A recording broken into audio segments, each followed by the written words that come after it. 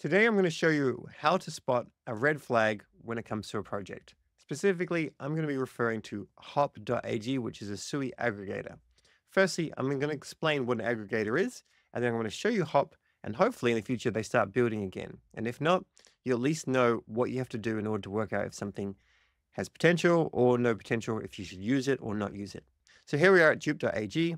This is a Solana dApp, and this is an aggregator. An aggregator means it goes to all different sources to take all the liquidity routes and prices, pulls it all to one different source, and then it uses this UI, this user interface, to interact with those smart contracts in order to get the best swap possible. If you take the word aggregate, that just means the whole of something overall. So as an example, $10,000 into this amount of SOL, this is what it would look like. And if we went to just say something like Orca or Raydium or another dApp, maybe we wouldn't get the best price, but by seeing them all, it's kind of like going to the supermarket and going to every single supermarket to find out the best price, only we can just do that from one place. If you've been on EVMs, then 1inch is the equivalent aggregator over there. On SUI, they have hop.ag. Now, this has two functions, a swap function, and it also has a meme coin generation device like pump.fun on Solana as well. This is not actively used, uh, although it has been used within the last couple of days. However, there is a big problem with swap, and I just want to point out what you will need to look for before you do anything. So as an example, I wanted to take my blue and I wanted to swap it all for SUI. And I wanted to do this because the markets have been going down significantly and I feel it's safer to hold it in SUI. Now what we can see here is this huge amount of blue. It's being priced at $2,134 and it's going to be traded into 2,400. So somehow I'm making $300. If I click the trade, we can see that it's not actually going to go through. It's taking a SUI gas fee, but that is all. So what you'd probably do in this situation is you go for something smaller and you can still see it's wrong. So then you try a different pair. Maybe there's been a mispricing on the API. You take your USDC and you buy SUI. On this occasion, the UI says 1.95. Even if we refresh it, it's showing $9 into $7. $2 worth of fees is crazy. Then when we go to swap, it's $2.54, but the UI is not helping us out. So whenever you see something like that, this is more putting attention on to make sure you're getting what you expect to be getting in the UI here. And then when you click trade, you want to see that match up. This doesn't match up, therefore, this is a red flag. So the first thing that I'll do is I'll go to Twitter.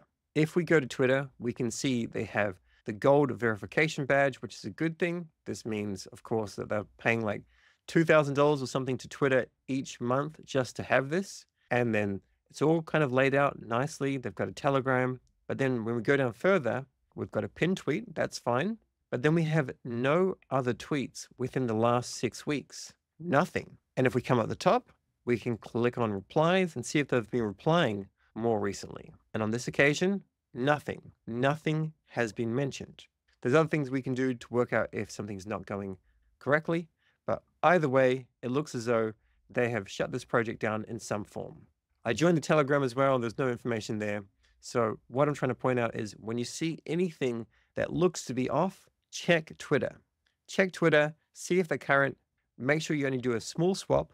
And then the other thing that I haven't taught thus far in this tutorial series is if you are having doubts about a dApp or if it's the first time using a dApp, don't use your main wallet, use a smaller wallet. So in our case, we would come up here and we actually have another wallet. So we can just click switch and click on this one. If you don't have a second wallet yet, just click manage and then click new. This will create a new wallet. Now the UI is not perfect in this wallet, but nevertheless, we know that this is our main one and we know that this one here is our, our new one. So we click on that, we copy the address, we wait for this to go, we close it, we switch back to our main one and we send nothing crazy, maybe like one SUI to the address. One SUI currently is under $4, review and send now. Then we go back to home, we switch to this new address. We can see it has one SUI. Then we come up here, we go ahead and we disconnect. Then we connect the wallet again, SUI, and now we're connecting this new wallet. That way, if we sign a transaction that doesn't do as we're expecting, then it doesn't really matter because it's only going to affect one SUI. We're going to lose maximum one SUI. Then we could come here. We could do this if we wanted to, turn 72 cents into $1. The transaction will not uh, actually go through. It will fail, as we can see, but at least we can try it with a wallet and not actually connect our main wallet to a dApp. Once we know that something is trusted, it works well, it's safe, then it's more common that someone's going to use their main wallet. In general, wallet security and wallet operational tips, that's probably a subject for another video. But all I need to cover for this video is just to point out that this is not working and how to work out if something looks a little bit off, like maybe the team has stopped working on something. That's all for this video. Catch you in the next one. Whoa!